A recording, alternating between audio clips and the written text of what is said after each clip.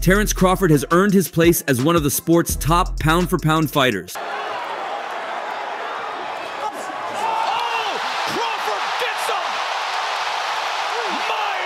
oh we all still remember his knockout victory against Shawn Porter, especially after hearing he was trailing on the ESPN scorecard. And the short uppercut that we showed. There the body punches. 28, there is the knockdown scored in round 10. And who could forget his dominant performance against Errol Spence Jr., which crowned him the undisputed welterweight champion?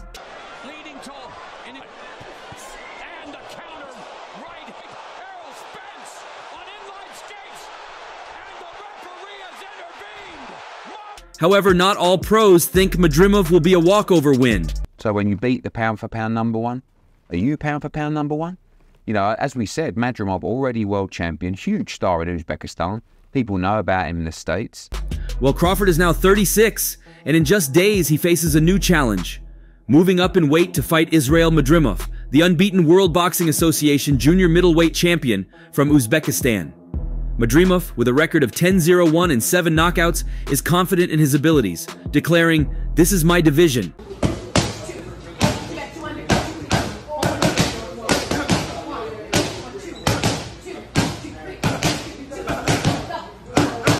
However, one voice that has been at the top of this is Teofimo Lopez. Lopez, known for his confidence and ambition, believes that Crawford will come out victorious against Madrimov. He sees this as a big moment in Crawford's career, potentially setting the stage for even bigger fights in the future. Madrimov might be strong, but I see Bud coming out with the win. He's more skilled, got more experience. Power doesn't beat experience.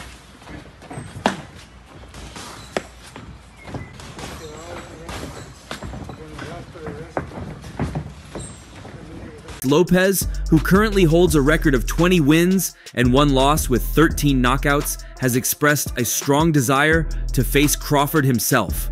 He is open to the idea of moving up to 147 pounds, while Crawford would have to drop back down from 154 pounds to meet in a catchweight bout. Lopez's goal is clear. He wants to become a three-time lineal champion, and facing Crawford would be a significant step toward that achievement. Check up this world twice. It's to the point that they can't even give me Crawford. I'm like, yo, give me Crawford so I can make it thrice. Mm. You know, I need that thrice. Come on. Come on now. Like, you know, he could say all this and that. However, Lopez also acknowledges that Crawford's focus might be elsewhere. The 36-year-old Crawford, boasting an impressive 40, zero record with 31 knockouts, has been eyeing a super fight against Canelo Alvarez, the undisputed super middleweight champion.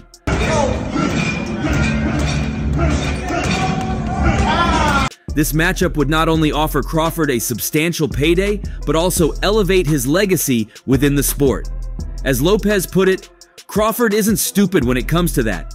Canelo is a little bit on his way out, but that's a cash cow moment right there. Two more weight classes. But Crawford ain't stupid, you know what I'm saying, when it comes to that. Canelo is a little bit on his way out, but that's a cash cow moment right there. Yeah. You're about to get. Lopez believes that Crawford is strategically positioning himself for this blockbuster fight with Canelo, which could potentially be his last major bout before retiring. He speculates that Crawford, who turns 37 in September, a relatively advanced age for a professional boxer, is looking for one final massive payday to cap off his illustrious career. Lopez's comments suggest that Crawford's decision making is driven by financial and legacy considerations rather than the competitive challenge posed by younger fighters like himself or Jaron Boots Ennis. So, so I'd just rather go after the guy that's too much of an ego, and that's Terence Crawford. And, and he he seems to be chasing after Canelo right now. Despite this, Lopez remains eager to challenge Crawford, expressing frustration that such a matchup seems unlikely in the near future. He sees Crawford's reluctance to fight younger, potentially more dangerous opponents as a tactical move to protect his record and set up the Canelo fight. Lopez said, It's to the point that they can't even give me Crawford. I'm like, yo, give me Crawford so I can make it thrice. Well, Teo is not the only one siding on Crawford in this one. Virgil Ortiz's corner has also confidently predicted that Terence Crawford will decisively defeat Israil Madrimov in their upcoming bout reason why I say Crawford's going to get. I never said. I just said, you know what, Crawford's just a different. But it's that, and I've, I've been in a ring with him. Crawford's gonna get him in like less than seven. Ortiz, known for his assertive opinions and strong performances in the ring, believes Crawford will secure a knockout victory within seven rounds. His confidence stems from his personal experience sparring with Madrimov, where Ortiz felt he clearly dominated. Even Ortiz's trainer, Robert Garcia, supports this view, emphasizing that Ortiz handled Madrimov easily during their sparring sessions. Garcia, speaking to ES News, noted that Madrimov appeared to be around 180 pounds during their sparring, suggesting that Ortiz's performance was even more impressive given the size difference. Uh, you know, normally look, we don't respond to that stuff at all, but I mean, like, why lie about it? Like, like, like, look, I haven't even talked to Robert about it. The sparring session between Ortiz and Madrimov has sparked some controversy, mainly due to comments made by Madrimov in a recent interview. According to Ortiz, Madrimov downplayed the significance of their sparring, claiming he was just playing around.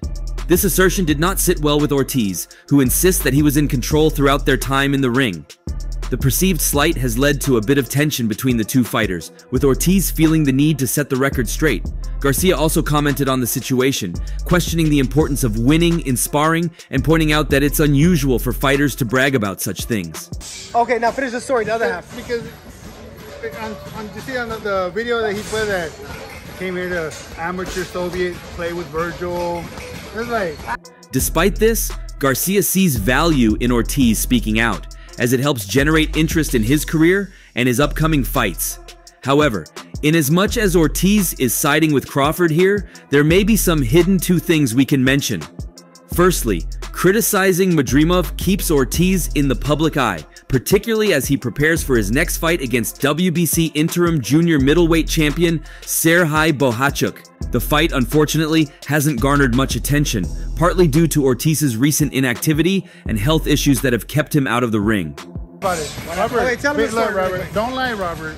Be, even if it's if it, if if, it, if Virgil got whooped or not, be honest. No, Robert's very what, honest. What happened with Virgil and Madrimov? Ortiz's decision to talk about his experiences with Madrimov might be seen as a strategic move to boost interest in his career. However, Garcia expressed hope that this wouldn't become a recurring tactic for Ortiz, relying on sparring stories to maintain his public profile. Instead, Garcia envisions a more substantive career path for Ortiz, potentially leading to significant bouts against high-profile opponents like Crawford. Keyshawn Davis, a promising talent in the boxing world, was also not left behind on the line of comments. Shit, I'm great, man. Uh, I had to pop up on my boy today. He don't even know I'm out here yet. I just saw my coaches. I just popped up on me. Nobody know I was coming out here, so just out here supporting my boy. Davis confidently predicts that Crawford will emerge victorious in this fight, further enhancing his reputation and possibly setting the stage for a future showdown with Canelo Alvarez. Davis expressed his belief that a strong performance by Crawford against Madrimov, who is the current WBA junior middleweight champion, could make a fight with Canelo almost inevitable. He stated, I think they will fight, especially after Crawford looks good against his opponent Madrimov right here. Davis sees this potential matchup as a logical next step, especially given the interest and stakes involved. Crawford is a dangerous, yeah. I believe, in any weight class. So, what are we expecting from Crawford facing Madrimov come uh, August 3rd? Um, potentially, man. He, just just because like he's the smaller fighter coming to this fight, like for sure. However, Davis also acknowledged that defeating Madrimov at 154 pounds doesn't automatically qualify Crawford for a shot at Canelo, who fights at 168 pounds.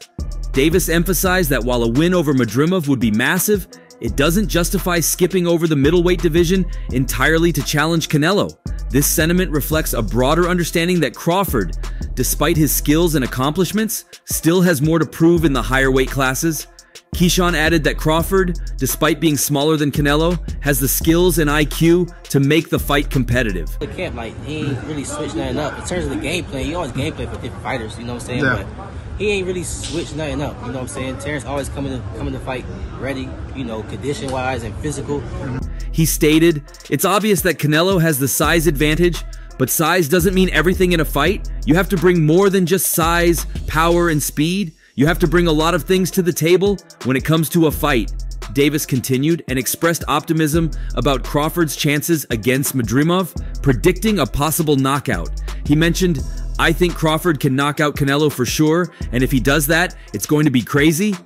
Davis highlighted Crawford's ability to adapt and strategize in the ring, which he believes will be crucial in overcoming Madrimov's physicality and skill. He noted that Crawford's experience and ring IQ would allow him to navigate the challenges posed by Madrimov, who Davis described as a young, hungry lion with a strong fighting IQ. It is, um, provided he wins, I know you're rooting for him. He's definitely going to win. It's just going to be a tough fight. Um, But, you know, you can make tough fights easy.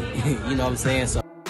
Despite his confidence in Crawford, Davis also acknowledged the uncertainties surrounding Crawford's performance at a new weight class, especially considering his age and recent inactivity. He pointed out that Crawford, now 36, has been out of the ring for 13 months and will face challenges against a well-prepared and powerful opponent like Madrimov. Davis hinted that Crawford might adopt a more cautious approach, focusing on outboxing Madrimov rather than engaging in a brawl, to mitigate the risks posed by Madrimov's power and size. And if we're being honest, this is something we've thought of too. Advantage there? For Canelo, Canelo, have yeah. advantage. I I mean, he. I mean, it's obvious he got the size advantage. You know what I'm saying? But size don't mean everything in the fight. Yeah. like size really don't mean everything in the fight. But while most expect Crawford to go home with the win, Eddie Hearn's take is different.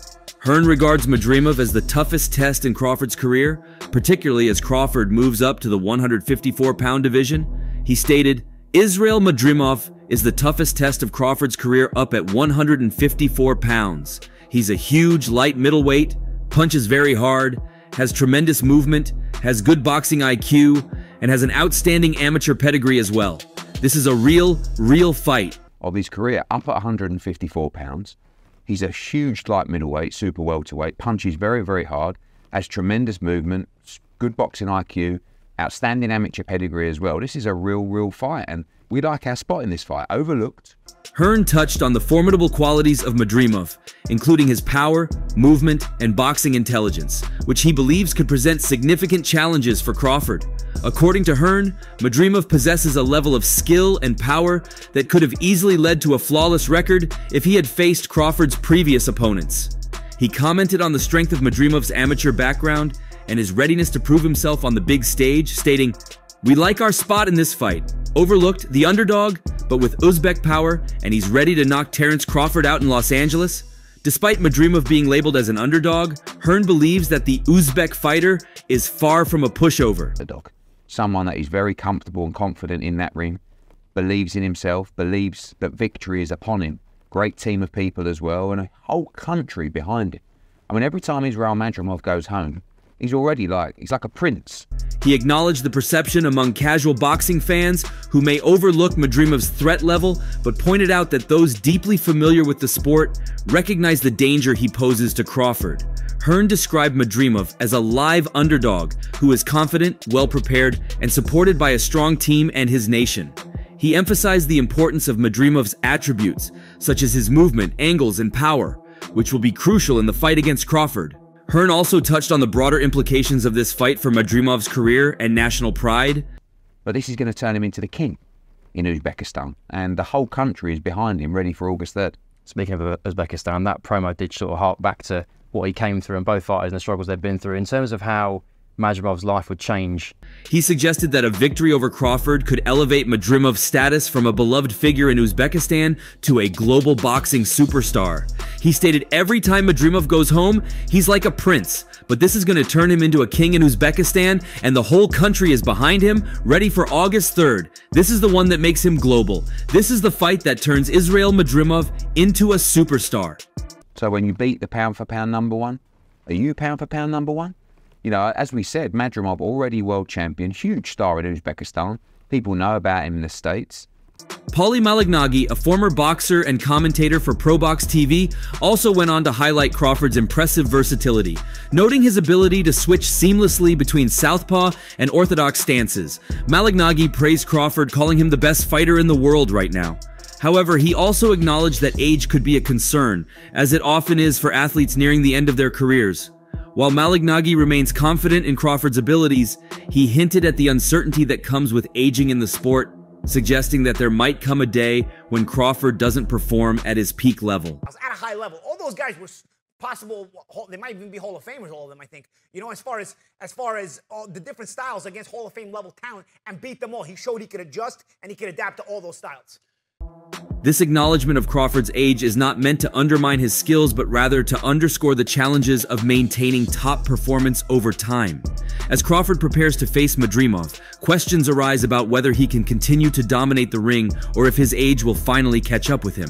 Madrimov is no ordinary opponent. He is a physically strong and athletic fighter who exudes confidence, often stating that the junior middleweight division is his territory. Madrimov's background includes training with Dmitry Bivol, who famously defeated Canelo Alvarez in 2022. This connection gives Madrimov a unique insight and preparation level that could prove advantageous against Crawford. Chris Algieri, a former 140-pound champion, emphasized the importance of gym culture in Madrimov's training regimen. Algieri noted that while Madrimov might appear to be over his head in this matchup, he possesses the right mindset and preparation to present a significant challenge to Crawford. He described Madrimov as a genuine threat, even to a fighter of Crawford's caliber.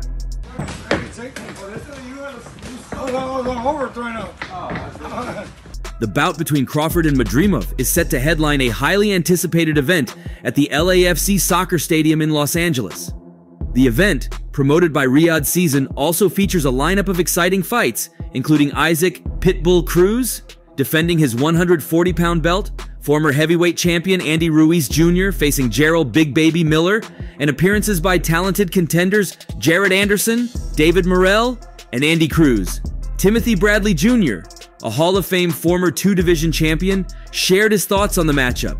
Bradley, who has a history with Madrimov's trainer, Joel Diaz, offered a critical view of Madrimov's fighting style.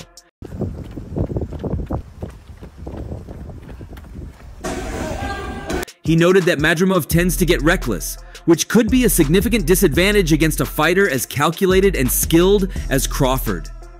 Bradley emphasized that Madrimov's best chance of success lies in landing significant blows early in the fight, during a period when Crawford typically assesses his opponent's strategy.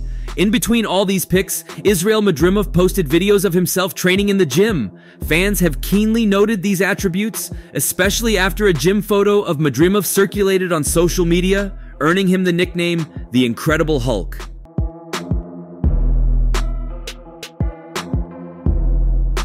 The image sparked varied reactions, with some fans suggesting that Madrimov's size and strength could pose a real threat to Crawford. Comments like massive, he's gonna beat Crawford, and it's over if he hits him reflect a belief in Madrimov's potential to overpower the more experienced champion. Conversely, other fans and analysts point out that Madrimov's muscular frame might be a double-edged sword. Some argue that his size could lead to slower punches, making it easier for Crawford to exploit openings, one fan remarked, his punches are too slow and wide to trouble Bud, referring to Crawford's nickname.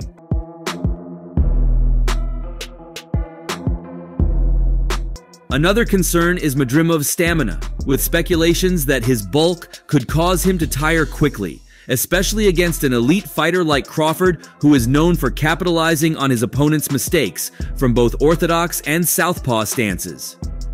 Crawford, a seasoned veteran, is likely aware of these potential weaknesses. His ability to switch stances and adapt mid-fight has been a hallmark of his career, allowing him to exploit defensive lapses and capitalize on moments when his opponents drop their guard.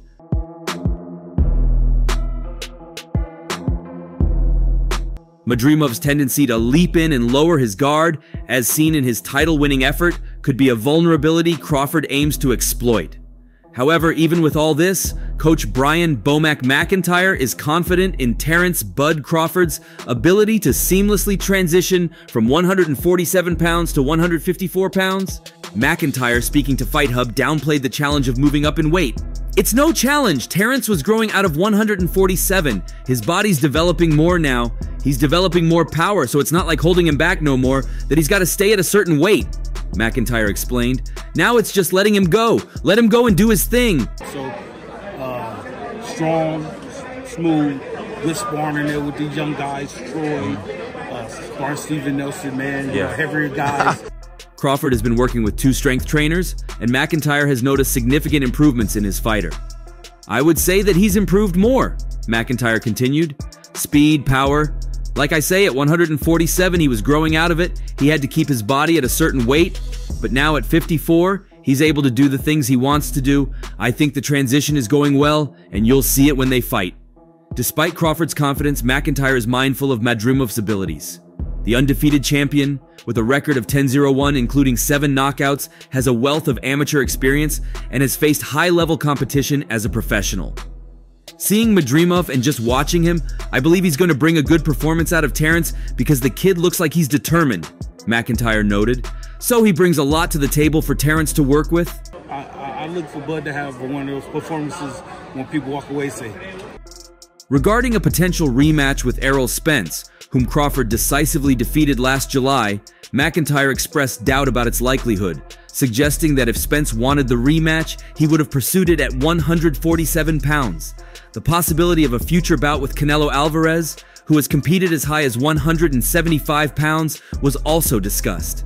McIntyre revealed that Crawford has experienced sparring with larger fighters, including heavyweight contender Bryant Jennings. Y'all can look at it like that, but Bud's always been sparring bigger guys, he said. Has the Canelo fight, you know, realistically left your mind once he said he's not interested, or you, st- uh, you still not, pursuing it? Not, not at all. You know, I think uh, business talk. You know, with the right. Uh, While McIntyre emphasized that Crawford's current focus is on the upcoming fight with Madrimov, he expressed confidence in Crawford's ability to face Canelo in a cross-division super fight. I just look at Canelo in that he can be beaten, McIntyre stated. He's been beat before, so Bud's definitely got the tools to beat him. That's how I look at it. I know Bud has the tools to beat him. That's the most important thing to me. McIntyre acknowledged the challenge such a fight would pose, both for Crawford and the entire team, but sees it as an opportunity for greatness. Is it a challenge for him? Yeah, of course. Is it a challenge for the whole team? Yeah, of course. That's something we're in the business for. Being great. What, 168? Yeah. So you got Canelo winning then, right? Then definitely. If he fighting at 168, definitely. Well, what do you think? Share your thoughts in the comment section below and don't forget to like and subscribe for more updates. See you in the next one.